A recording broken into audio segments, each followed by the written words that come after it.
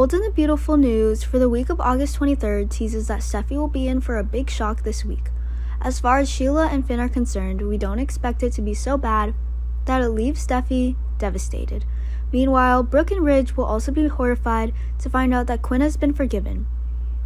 And she has returned to Eric's mansion after a long time, plus, Jack is also troubled by Sheila's manipulation. She threatens to reveal the secret if Jack doesn't comply with her demands so Jack will come back and force Finn to fulfill these demands.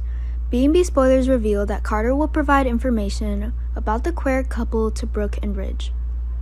Carter said he returned Quinn's portrait to Eric and it was reattached above the fireplace. Brooke will be furious when she later finds out that Quinn has moved back to the Forrester mansion as well. This week, Brooke will face Quinn to criticize her. Let's see where this fascinating fight goes. Brooke cast a sharp gaze on Quinn. When she saw Quinn at Forrester Creations, Ridge was no less than Brooke.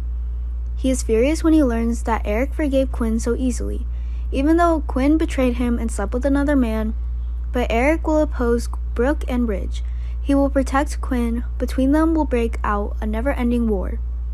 While the Forrester family is in disarray, Jack is no less. He's controlled like a puppet by Sheila, and she is going to ask him to do a mission this week and if he succeeds with this request, she will promise never to tell Finn that Jack is his biological father. Is Sheila trustworthy? However, Jack will stupidly agree and trick Finn into letting Sheila meet baby Hayes. You want me to do this and lie about it? Finn angrily asked his father during the B&B's weekly commercial, if you want to protect your family, Jack would answer, this is the road, probably the only way. But of course, Jack will only defend himself.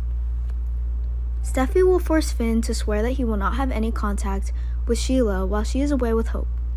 Steffy doesn't want Sheila to come near their family. She fears that with Finn's kindness, it will be easy for Sheila to use her to get close to baby Hayes.